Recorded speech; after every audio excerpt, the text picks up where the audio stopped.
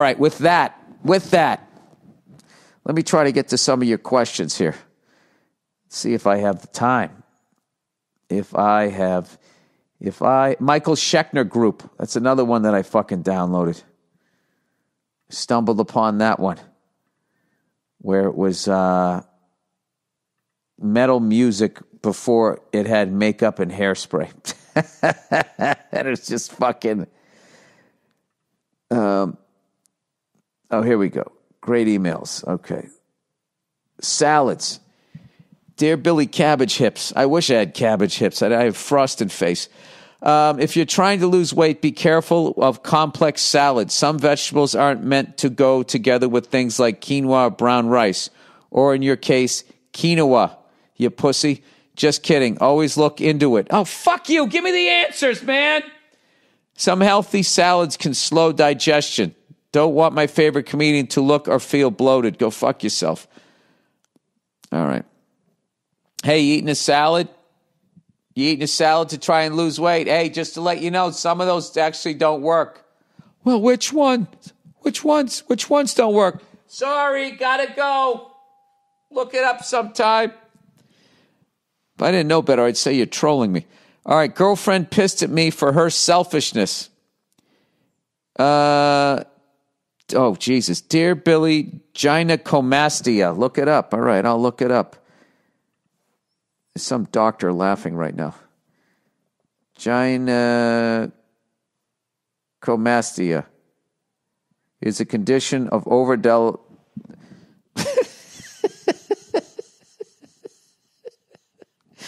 Oh my God, you intellectual cunt, you. Is a condition of overdevelopment or enlargement of the breast tissue in men or boys.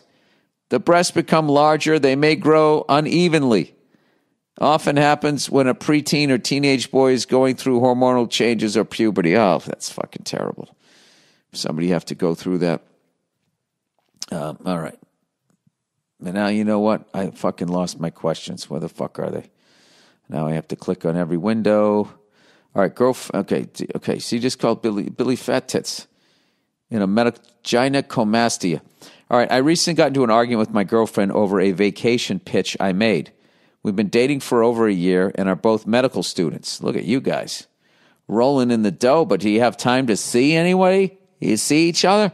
And uh, they want to practice in Montana or Colorado when we finish school. I asked her if she wanted to go on a week long vacation to Colorado this week winter in order to see what it's like. She's been twice before and I've never been. She replies with, Well, you don't like skiing as much as I do. And if we're not going to be skiing every day, then I don't think it's worth the money for me to go. She's also rich as fuck, so money is not an issue.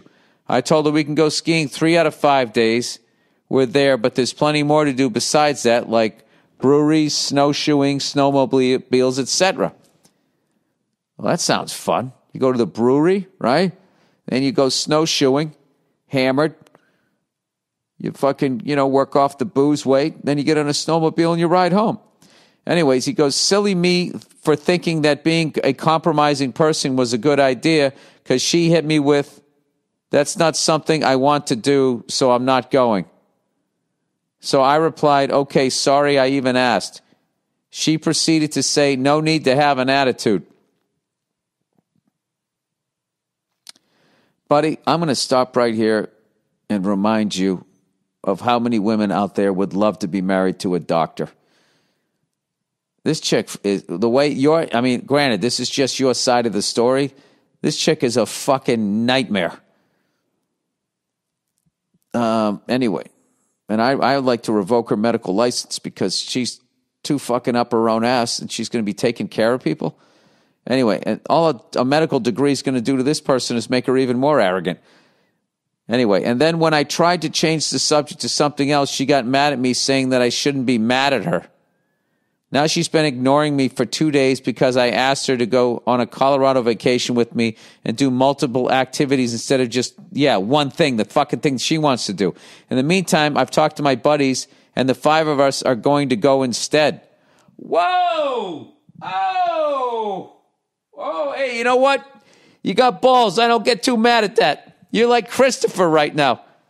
Hey, Tommy, why don't you go fuck yourself? That's what you just said. That's exactly what you need to do with a fucking woman like that. Well, go fuck yourself. I'll go with my friends anyway. So she can just sit at home and be surprised when my Instagram posts are me and the boys having cold ones in Boulder. Love the podcast and can't wait to see you in Atlanta uh, in October. Ah, is there anything better than self esteem? And before I get trashed by the women out here, is if a guy did that to you, that's exactly what the fuck you should do. This is how you set up a healthy fucking relationship. Okay? You made a suggestion. She said she didn't want to do it because of this, this, and this. You offered a compromise. Not only did she not want to do it, she acted like a fucking child. So what did you do? Did you sit there and be hostage to her fucking own goddamn emotions? You said no, fuck it. And you're going to go anyway. And you know what that's going to do? That's going to make her either grow the fuck up or break up with you, which is perfect. She's either going to become an adult and realize that she was in the fucking wrong and he's not be such a fucking baby, or she's going to leave you and you can go find somebody, a woman that is an adult. Who doesn't want to go to Colorado? I want to go to Colorado and go to the go to the fucking that hotel where they shot The Shining. I didn't realize it was only an hour and a half northwest of Denver. I want to go check that thing out. Stand outside of it and just yell, Wendy! All right, overrated. Hey, Bill Blurry Eyes. I'm writing to you from London, where there is even a more boring version of baseball, and that is cricket. I like cricket. I like those games. What everybody, everything has to be so fucking fast. Just sit around and fucking watch it. Have a good time. Shoot the shit with your friends. Anyway, to be fair, I moved I moved here about a year ago from Eastern Europe, so I didn't grow up watching cricket and rugby, but I but basketball and football, handball, etc. Basically, everything that has the word ball in the name. Uh, my best experience with watching a baseball game was when I was in San Diego, a whale's vagina. I remember the team was playing against a team called the Cardinals. Love the naming you guys have. I guess you are just running out of any Native American related stuff. What are you talking about? We ran out of animals, is what we did. So now I don't know what the I don't know what the that Seattle team is called the Krakens. It's some sort of myth, mythical fucking octopus. Uh, but basically, my friends and I. Oh, I get, he's making fun of the racist shit. I get it. All right. But basically, my friends. Yeah, because you guys are so fucking progressive in Europe. If you guys, you know, you guys, if you're not on the same currency, somebody thinks they're a superior race over there and tries to wipe everybody else out every fucking 20 years. Uh, but basically, my friends and I barely made it to the sixth inning. After which, we went to a bar nearby where the locals were having a karaoke night and had no talent for singing at all. And even that was more interesting than the game. Too slow, too much repetitiveness, and too much fireworks. Judging by the celebration, people might be, think the USS Midway aircraft carrier they have just docked after a successful battle every time somebody hits a ball. Anyways, loves the love the podcast. All right, so you don't like cricket, you don't like cricket or baseball. Um, yeah, there's a lot of people like that right now. If it, if the game isn't like I mean, if you go to a W uh, WNBA, if you go to a fucking NBA game, every time there's a stoppage of play, they have tumblers and DJs and all kinds of shit fucking going on. Um, I don't know. I hope they're not shooting off fireworks every time something happens in baseball now. I know that I know they do shit with like the scoreboard and they try to crank it up and make it really fucking loud. Um, it's a real. We're in a really bad time right now for live sports and uh, yeah, I don't know. I don't know that it's going to come back. Uh, all right, a word for new segment. Dear Monsieur Fire Crotch, I am a long-time listener from England and love your show. Yada, yada, yada. Uh, Monsieur Firecrotch, that's how we should have said. Over the years, I have heard you talk about how you were learning to speak French. On and off, I do. Uh, for the last few weeks, you've been talking about the strange feeling of regret about the things you wish you said at the time, but didn't think of it until it's too late. Well, I thought you would like to know that the French have a fantastic phrase for this. I remember it, as it's maybe my favorite French fa- phrase, as I spent most of my life suffering from the same annoying problem. L'esprit, l'esprit, l'esprit, I don't want to say, esprit, esprit, l'esprit de l'escalier. Um, the spirit of the stairs. Ah, the spirit of the staircase. Woo! Literally, the meaning, the spirit of the staircase. I'll let Wikipedia explain.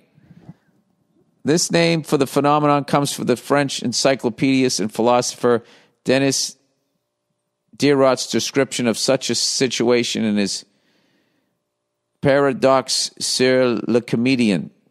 Paradox of the Comedian. During a dinner at the home of statesman Jacques Necker, uh, Necker, I remember uh, was made to a remark was made to Diderot, which led him left him speechless at the time because he explains a sensitive man such as myself, overwhelmed by the argument leveled against him, becomes confused and doesn't come to himself again until at the bottom of the stairs.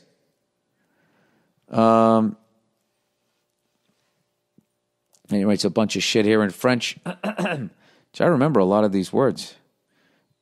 Once I get past the instrument exam, I'm gonna I'm gonna pick this shit back up again. In this case, the bottom of the stairs refers to the architecture of the kind of uh, hotel or uh, mansion to which Diderot had been invited. In such houses, the reception rooms were on the Étage Noble, one floor above the ground floor. To have reached the bottom of the stairs means to have definitively left the gathering. Seems like this was pissing off the French long before us idiots figured it out. I hope this adds a new phrase to your vocabulary that you can mutter to yourself. Um, or maybe they were fucking such cunts to each other, they came up with this phrase. Uh, that you can mutter it to yourself to starve off the internal rage. P.S. Check out Dean Martin's version of Gentle, Gentle on My Mind, as it puts a strangely positive spin on the lyrics, like Dean was happy to not see her again.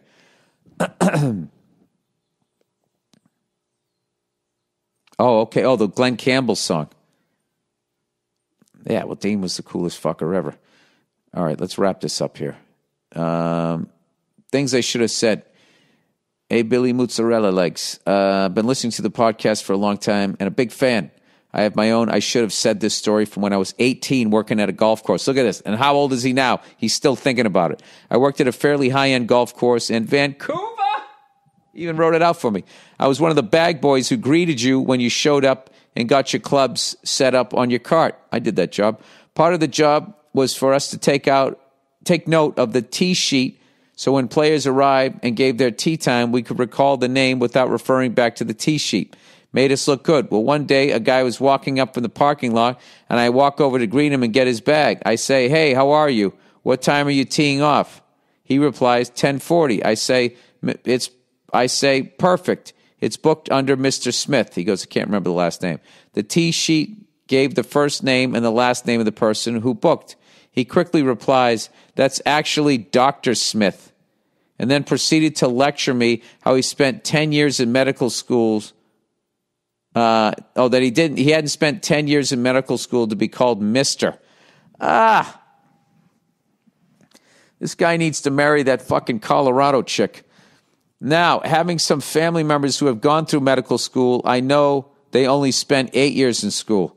I wish I could have said, Isn't medical school only eight years? and just left it at that. Oh, that would have been great. I still think about that encounter and many other things I wish I could tell him now. As, as always, go fuck yourself. Yeah, isn't it always eight years? And did you go to medical school so you could exaggerate it to somebody half your fucking age that's putting your bag of clubs? All right? If you were athletic, you'd be playing a sport. Enjoy your activity for the next fucking three hours, you cunt. Um, hey, Bill. Bill should be the next Batman Burr. I don't know about that. I play a villain, though.